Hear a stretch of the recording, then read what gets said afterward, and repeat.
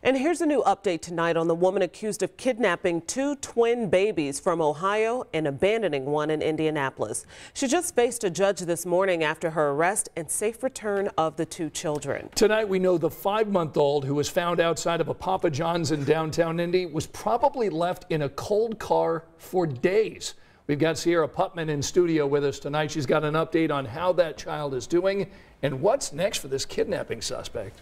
Well, the grandmother of five-month-old Kason Thomas tells us he was just reunited with his family late last night. She told our sister station in Columbus he likely went without food for days.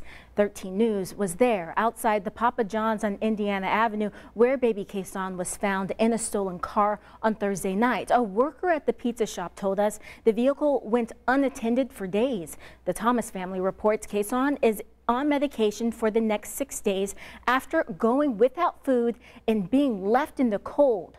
Nalah Jackson is accused of stealing the car and kidnapping Kason and his twin brother Ky'Air last week in Columbus, Ohio. Today, she had a first appearance before a Marion County judge for a battery charge. At the end of the hearing, she said, that was a waste of my time. Now, Jackson is scheduled to have a bail hearing next week, but keep in mind, she likely won't be released because Ohio still wants her for those kidnapping charges. And coming up at 6, this is a story you'll definitely want to hear. You're going to hear from two Indiana women that actually led police yeah. to this suspect and to this little boy.